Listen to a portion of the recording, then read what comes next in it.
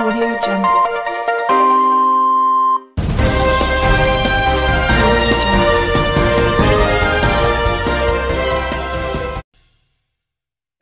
नमस्कार दोस्तों, स्वागत है एक बार फिर से हमारे YouTube चैनल पर। दोस्तों, उत्तर प्रदेश में सबसे वीआईपी सीट की बात की जाए तो यह बनारस लोकसभा सीट है।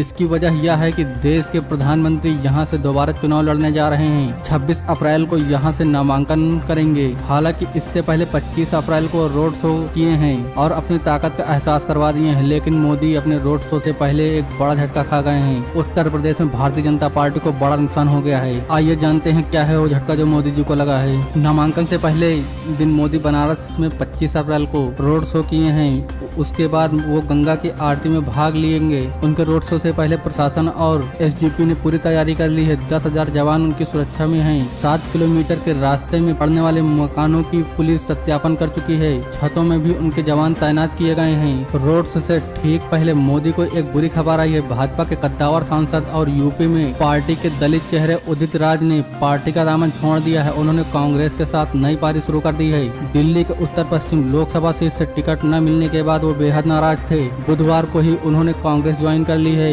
उनके जाने से बीजेपी को दलित वोटों में यूपी से काफ़ी नुकसान उठाना पड़ सकता है और यूपी जीतने की कोशिश कर रहे पीएम मोदी के लिए यह बुरी खबर है। दोस्तों, आपको क्या लगता है, इनके जाने से भाजपा को नुकसान हो सकता है या नहीं? आप अपनी राह में कमेंट बॉक्स में ज़रूर बताएँ। न्यूज़ पसंद आई तो इसको लाइक करें शेयर करें और राजनीति से जुड़ी हर अपडेट के लिए चैनल को सब्सक्राइब करें।